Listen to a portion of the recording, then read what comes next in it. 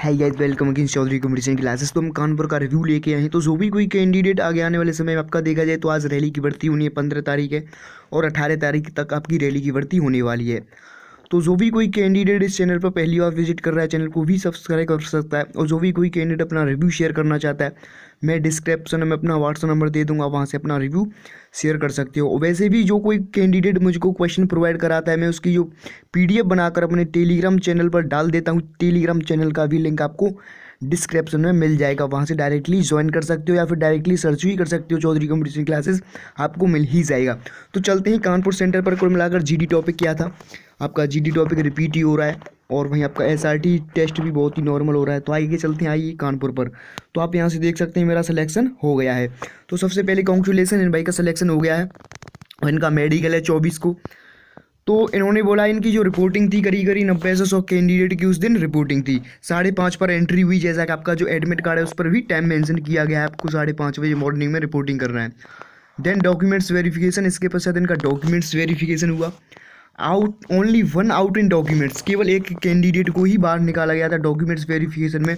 मैं आपको बताता चलूँ डॉक्यूमेंट्स में आपके सब पास आपका डोमिसाइल सर्टिफिकेट होना चाहिए। वहीं टेंथ और ट्वेल्थ की ओरिजिनल मार्कशीट के साथ साथ आपके साथ चार से पाँच फ़ोटो कॉपी भी ले जाएँ और साथ में अपना पासपोर्ट साइज़ फ़ोटो भी होना चाहिए, आठ से नौ फ़ोटो यही आपके पास डॉक्यूमेंट्स होने चाहिए। वहीं आपके पास एक आइडेंटिटी प्रूफ भी होना चाहिए, ऐसे आधार कार्ड ले सकते हो।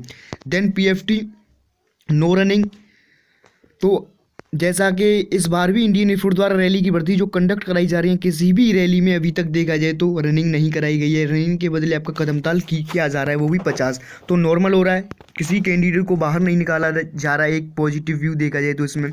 आपका कदम ताल पचास ही करवाया गया था।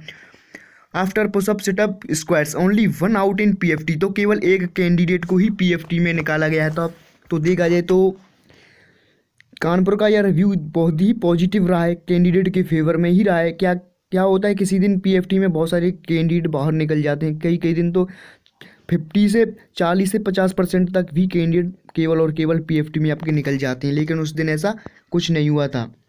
देन रिटेन एग्ज़ाम उसके पश्चात इनका रिटेन एग्ज़ाम हुआ।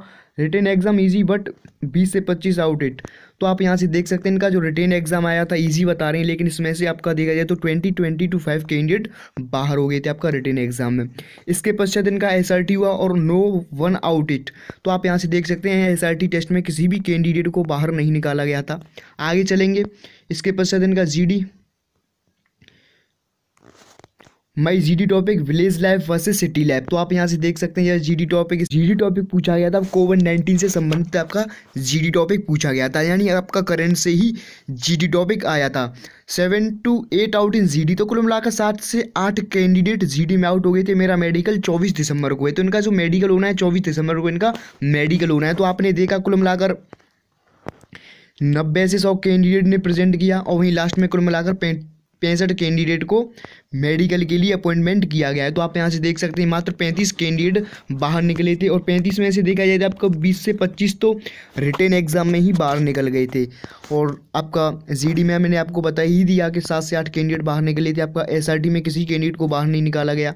वहीं आपका डॉक्यूमेंट्स में एक कैंडिडेट को बाहर कर दिया गया था।